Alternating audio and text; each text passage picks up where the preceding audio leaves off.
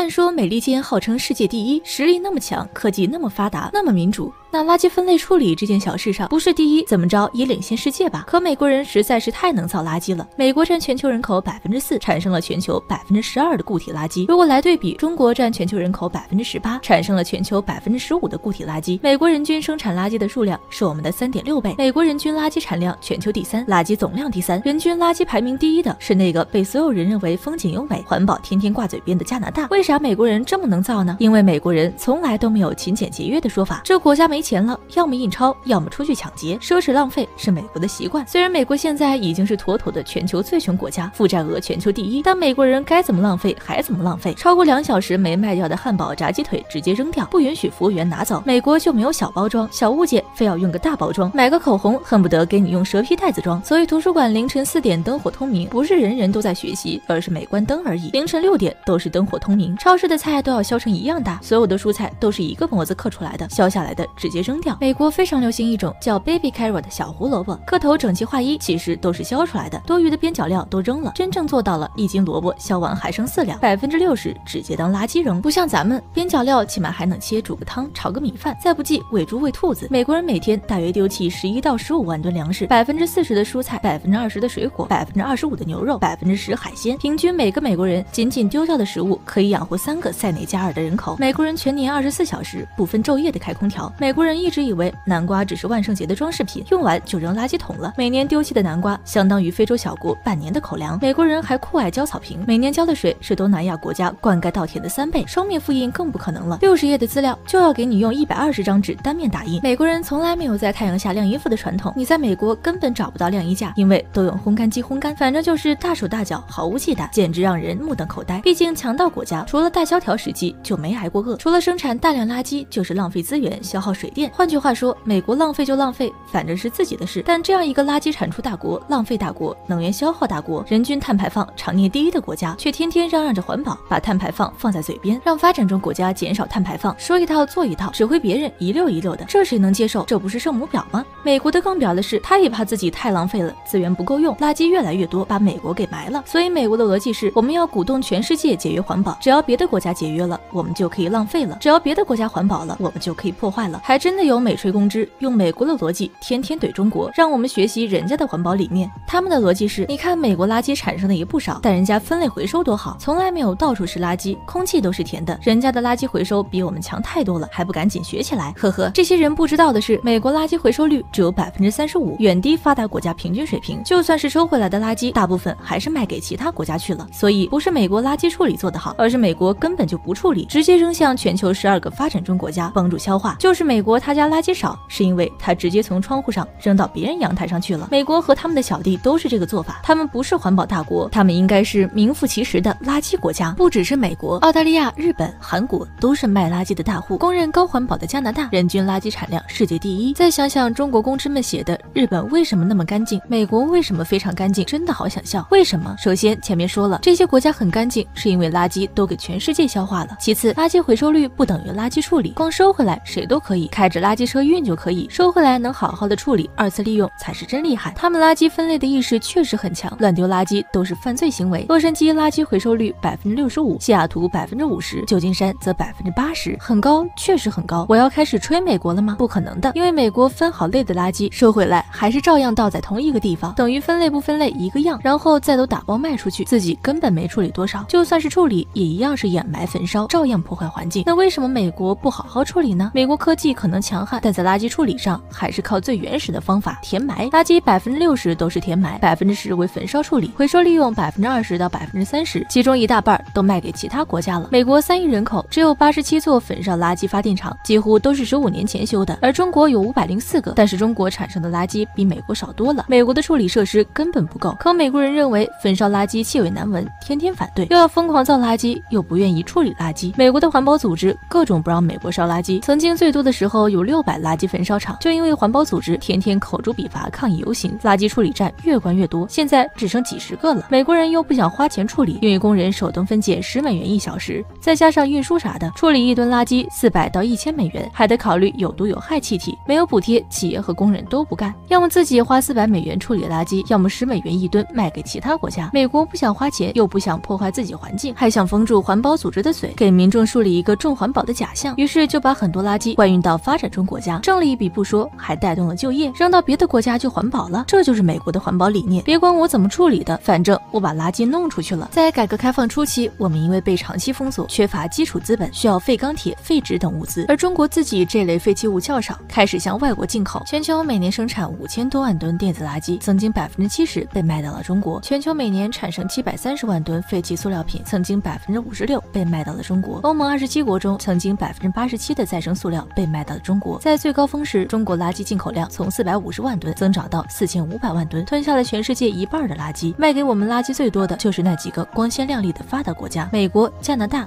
日本、韩国、澳大利亚、英国。这里面量最大的就是美国，垃圾曾经是对华出口第六大类商品。还有日本，几年前很多人吹日本垃圾回收多厉害，对垃圾分类是比我们厉害，但他可能不知道，日本是向中国出口垃圾数量的第二名，每年对华出口近一百四十四万吨垃圾。换句话说，日本垃圾分类是为了更。更高效的向中国出口垃圾，最表的就是澳大利亚垃圾卖给了中国，但政府不敢告诉纳税人，以至于某些洋人和奥吹天天吹嘘澳大利亚垃圾处理多么优秀。所以有句话叫欧美岁月静好，全是其他国家负重前行。不过当年我们也没有办法，工业基础差一些，原料资源缺乏，不考虑环境污染问题，捡洋垃圾确实有利可图，能捡回来大量优质便宜的资源，比如塑料废纸、金属。从废弃塑料中提取新塑料，要比石油中提取便宜一些。实际上，中国主要接收和回收的也是。这三大类，两千年的时候，中国两千块一吨从美国买废旧 CD 碟，磨干净就能卖两万五千块一吨。汽车大灯灯壳、手机盖板、插座、眼镜片用的都是这种塑料。那时候中国甚至没有生产这种塑料的能力，好多企业都是用这种再生塑料。佛山市顺德区的家电制造几乎都用的是这种。再比如电子垃圾，一吨主板零件可以提炼出来两百克黄金、一千克白银、一百千克左右铜、几克到十几克不等的钯、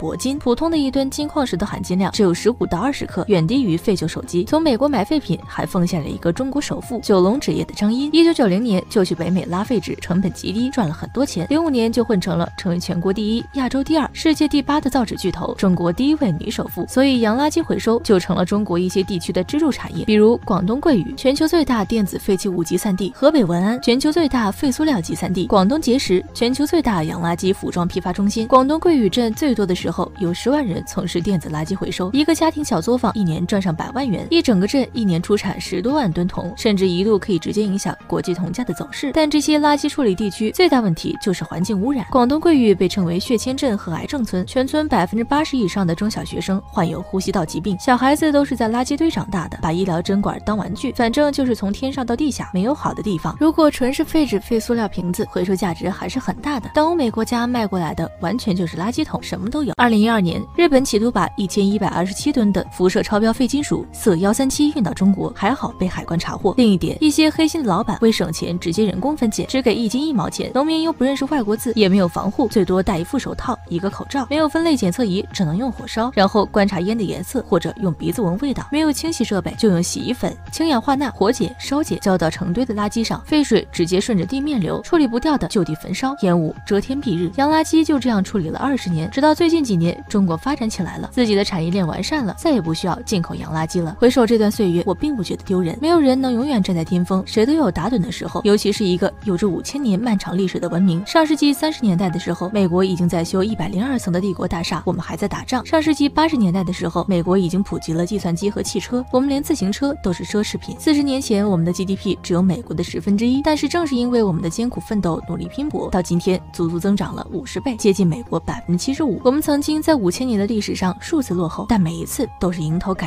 而美国这个抢劫惯了的国家，到今天已经沦落为全球第一债务国，还在疯狂的浪费。真正到吃苦头的时候，等待他的只有分裂了。二零一七年七月，中国对欧美说，我们不接垃圾了，要接除非满足我们的标准，纸板和废金属的杂质不得超过百分之零点五。美国的垃圾厂连夜增加人手，进行了巨额投资，升级自动化分拣设备，提高人工费用，调慢分拣速度，限制回收类型，甚至还邀请中国客户来参观他们的工厂，并进行随机抽查。没过多久，二零一八年三月，中国说，你们也。也别降低标准了，四类二十四种垃圾我们都不要了。二零一九年，中国又说别忙活了，还有其他十六类垃圾我们也不要了。二零二零年十一月，中国最后一次表态，全面禁止进口固定废物，欧美直接地震了。过去的二十年，世界上一半的可回收物品都被运往中国，现在中国不要了，欧美傻了。你不要垃圾了，我们的环境怎么办？我们还怎么环保？所有国家垃圾出口量暴跌百分之九十以上。大家可以看下面这两张图，中国拒收欧美的垃圾越堆越多，美国随便一个垃圾站每月收回来六百六十。五吨垃圾，这样的垃圾站，美国有四十九个，再堆下去，美国就被埋了。无奈，只能拉去填埋和焚烧。但美国焚烧厂又不够，最大的卡万塔焚烧炉每天也只能焚烧三千五百一十吨垃圾，还得排队。垃圾填埋成本从每吨三美元飙到了七十美元，焚烧发电成本每吨四十六美元。以前卖垃圾还挣钱，现在还得倒贴处理。之前美国三分之二的废纸直接送到中国，现在回收品价格一落千丈，废纸从一百美元一吨降到了五美元一吨，街头收废纸的美国大爷都哭了。韩国更大。蛋疼。四十八家私营回收公司集体罢工，大量垃圾堆砌在居民区，收回去的垃圾也装不下。本来容量是两千吨，硬生生堆了十六万吨，大火整整焚烧了三个月都没烧完，据说还要再烧五年才能完全解决。英国直接向中国低头求助，垃圾不要钱，回收的资源都是你们的，求求你们收了我们的垃圾吧。中国毫不理会，直接拒绝，倒贴钱都不要你的。一肚子气的欧美触发被动甩锅，美国说中国禁止洋垃圾，影响了全球垃圾的回收利用，违背了 WTO 的义务。欧盟说中国的政策。